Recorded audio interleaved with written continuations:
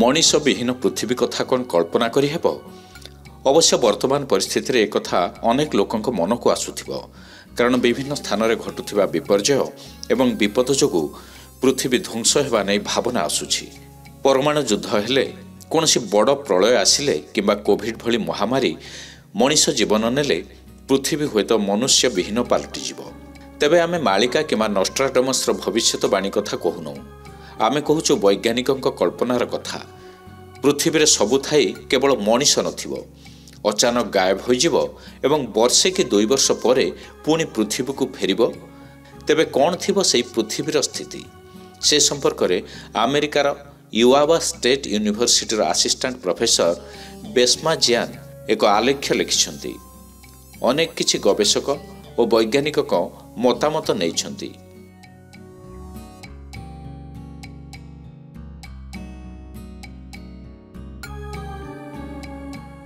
ଏଥିରେ ସେ ଲେଖିଛନ୍ତି କି ଯଦି ସବୁ ମଣିଷ ପୃଥିବୀରୁ ବର୍ଷକ ପାଇଁ ଗାୟବ ହୋଇଯାଆନ୍ତି ତେବେ କ'ଣ ହେବ? ସେମାନେ ବର୍ଷେ ପରେ ନିଜ ନିଜ ଘରକୁ ଫେରିଲେ କ'ଣ ଦେଖିବେ? ବୈଜ୍ଞାନିକଙ୍କ ମତରେ ମଣିଷ ଯେତେବେଳେ ପୃଥିବୀକୁ ପୁଣି ଫେରିବ ପ୍ରଥମେ ଆଖି ପୁରାଇ ସାରା ଅଞ୍ଚଳକୁ ଦେଖିବାକୁ ଚେଷ୍ଟା କରିବ। କିଭଳି ପରିବର୍ତ୍ତନ ହୋଇଛି ତାକୁ ଅନୁଭବ କରିବ।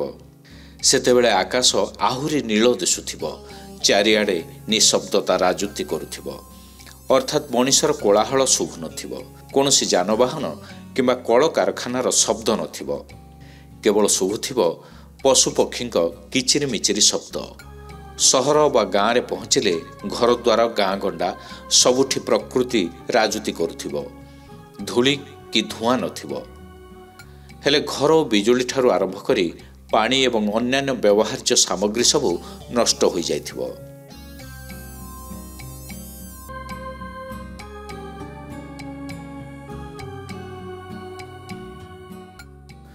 ଗଛଲତା ମାଡ଼ି ପୋକଜୋକ ସରୀସୃପ ବାସ କରୁଥିବେ।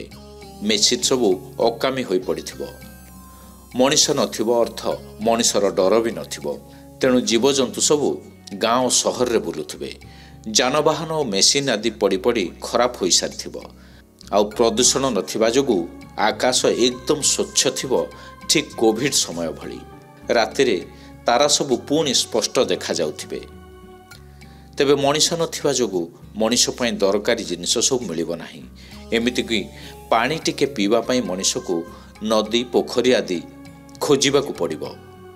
ଘର ଏବଂ ଅଫିସ ଅବା କାରଖାନା ସବୁଠି ଲାଗିଥିବା ଲୁହା ଜିନିଷରେ କଳଙ୍କି ଲାଗିସାରିଥିବ ମଣିଷର ଦାଉରେ ପ୍ରକୃତିର ନିୟମ ବଦଳି ଯାଇଛି।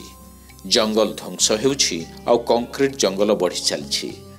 ରାସ୍ତାଘାଟ ଯୋଗୁଁ ବଣ ପାହାଡ଼ ସବୁ ଧରାଶେଇ ହେଉଛନ୍ତି। ଠିକ୍ ସମୟରେ ବର୍ଷା ହେଉନାହିଁ ତେବେ ଏସବୁ ବଦଳିଯିବ। ପ୍ରକୃତି ପୁଣି ଠିକଣା ସମୟରେ ଖରା ବର୍ଷା ଓ ଶୀତ କରାଉଥିବ।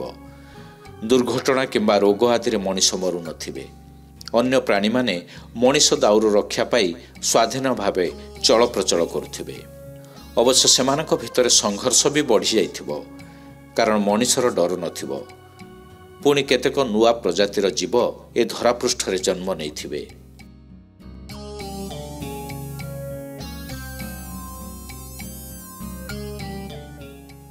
ରାସ୍ତାଘାଟ ଏବଂ ପୋଲ ଆଦି ସୁନସାନ ଲାଗୁଥିବ।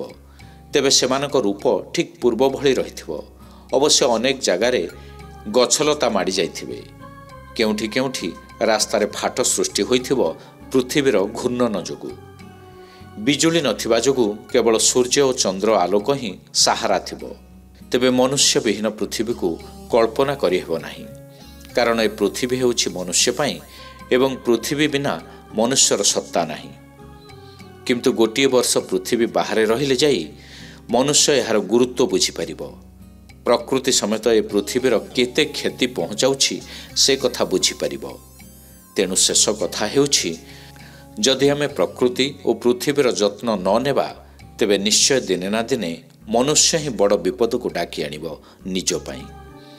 ଯାହାର ପଦଚିହ୍ନ ପଡ଼ିବା ଆରମ୍ଭ ହେଲାଣି ବିଭିନ୍ନ ପ୍ରଳୟର ସଙ୍କେତରେ bureau report K news Odisha.